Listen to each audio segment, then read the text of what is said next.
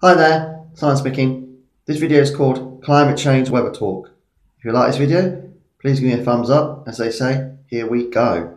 So, yes, this planet Earth we live on, the whole world as we know it, has been warming up and getting hotter and very cold periods for the last 50 billion years.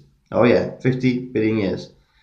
So the thing is about climate change is there are seven volcanoes in the world, we know, super seven, seven super volcanoes, and one of them will go off, the one in Yellowstone Park, the one in, called Vesuvius in Italy. One of these seven volcanoes will go off. If they go off, what we're doing to try and save the planet now could all be in vain. So there's that scenario. They might not go off this century, this 21st century, but if they do, that would be a big issue. But that's one scenario, one parallel line we could go down. The, the thing is about climate change is it's been warming up and getting cold for the last 50 billion years. Well, as humans, we have completely contrasted to that uh, since the Victorian state, Victorian era, back in the 17th to the 18th, 19th century, unfortunately. And we didn't know what we were doing was bad for it. Trees and plants do play quite a vital role in reducing the amount of reducing the amount of carbon dioxide in the air. They like us a lot. We need them. But if we keep cutting down more trees, unfortunately, we do take trees in the rainforest for our toilet rolls. As artists need paperwork, there's furniture in our house, um, unfortunately.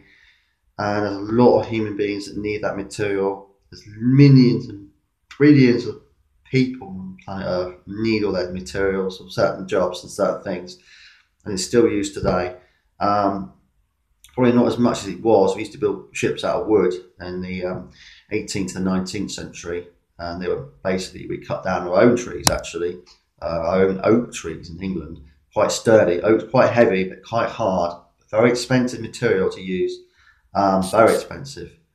So that's um, that, and um, yeah. So as they say, just keep uh, an eye on the um, climate, the weather, and um, there's one thing you can you can do about um, climate. It's nothing to do with climate; it's completely different, but it's light pollution.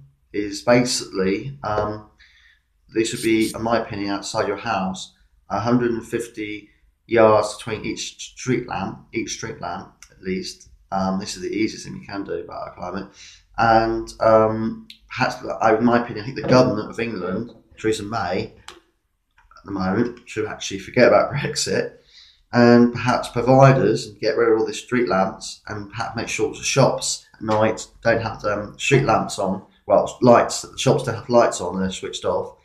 Um, private one head torch like this. It's quite powerful. Um, to uh, the public in England to get around, um, basically like this one here and it's got batteries you can charge a USB port. And basically, um, uh, that's my opinion. The government should provide that so people can walk around with that uh, a lot, and um, then the light pollution will be reduced because um, less people, well, less lights outside. We're just using head torches. They won't be out all the time. So that's the one way to reduce the amount of light pollution. So that's light pollution and the plastics in the sea. We should do something about it but I don't think we should worry about it too much um, or stress ourselves out about it too much. We just do a little bit at a time with stuff in the world. So that's my opinion about the climate. If you like this video, give me a thumbs up. May the force be with you always. Subscribe to my YouTube channel. Please keep safe. And if you like this video, enjoy it. Uh, that's my talk about climate change. Bye bye. Bye everyone.